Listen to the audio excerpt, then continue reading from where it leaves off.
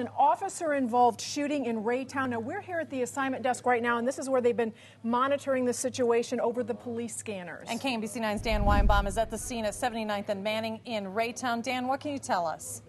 Well, we are right here at the corner of 79th and Manning, and behind us you can see that this is a scene that is still active. This is an officer involved shooting.